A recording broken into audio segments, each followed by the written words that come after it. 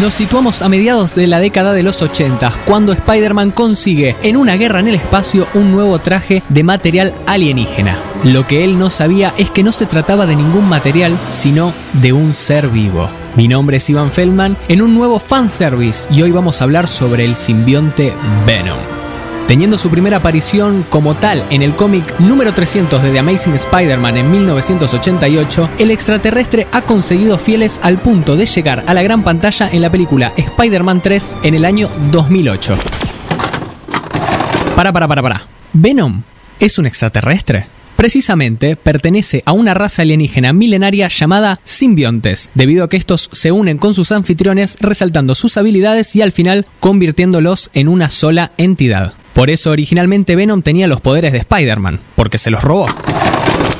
Volviendo al mundo del cine, luego de la decepción que fue su primer vistazo en las películas, el personaje quedó relegado a las sombras, hasta que un señor llamado Ruben Fleischer, director de ambas entregas de Zombieland, dijo, ¿qué tal si hacemos una película que le haga justicia a este gran personaje? Y así fue como en 2018 se estrenó Venom, protagonizada por Tom Hardy, la cual volvió a colocar al antihéroe en la mira de los fans. Actualmente su secuela ya ha sido lanzada en los Estados Unidos, recaudando más de 90 millones de dólares en su primer semana y convirtiéndola en la película más taquillera en pandemia.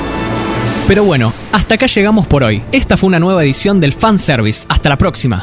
Che, ¿ustedes sabían que Andy Serkis, el director de la secuela, es el que le hace la voz a Gollum? Así que podríamos decir que Venom es su, su precioso. ¿No? Muy malo.